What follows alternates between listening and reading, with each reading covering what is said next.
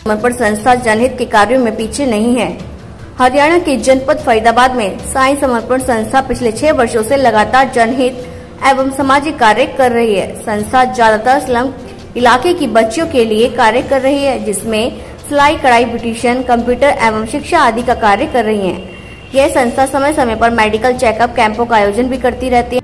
Chairperson निशा चोपड़ा का कहना है कि मैं अपनी संस्था साई समाज समर्पण की ओर से सामाजिक शिक्षा एवं जनहित के कार्य करती रहूँगी। मैं चाहती हूँ कि पिछड़े हुए समाज की बच्चियाँ भी कामयाब होकर अपने पैरों पर खड़ी हो जाएँ। इसलिए हम जल्दी ही इन बच्चियों के द्वारा सिले हुए कपड़े जैसे थैली, बैग, बनियान व सूट इत्यादि। Bureau report, Faridabad. मेरा नाम निशा चोपड़ा है और मैं साइंस समर्पण संस्था चलाती हूँ।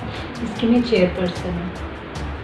हमारी संस्था गरीब लड़कियों के लिए बहुत सारे कोर्सेज करवाती है, उनकी एम्पावरमेंट के लिए सोशली अपलिफ्ट करने के लिए। इसमें हम लोग computer coaching classes beautician classes stitching and tailoring free tutorial classes ये हम बिल्कुल निःशुल्क देते हैं।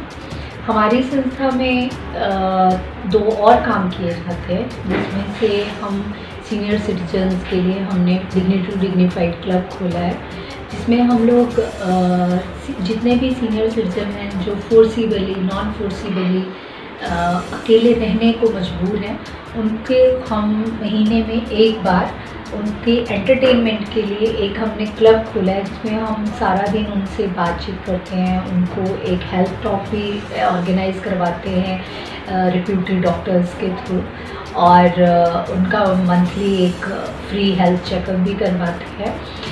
प्लस हमने एक रोटी ड्राइव बैंक भी खोला हुआ है, जिसमें हम लोग स्लम एरिया में फ्री फूड्स सर्व करते हैं।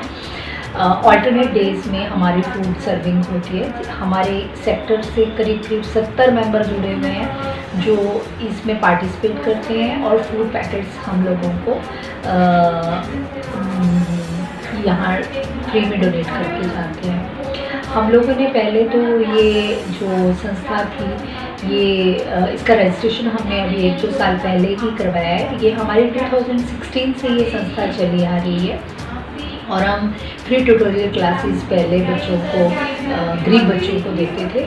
अभी हम लोगों ने इसको थोड़ा सा एक्सपैंड किया है। हम लोगों ने इन लोगों को थोड़ा सा जैसे स्किल बेस्ड प्रोग्रामिंग स्टार्ट करी है। It is totally free we are not actually getting any fund from the government we are just raising the fund for the benefit of childs हम लोग इन लोगों के लिए जो इतना करते हैं कि जो ये लोग प्रोडक्ट्स बनाते हैं, हम उनके लिए एक फ्री मार्केट सर्च कर रहे हैं।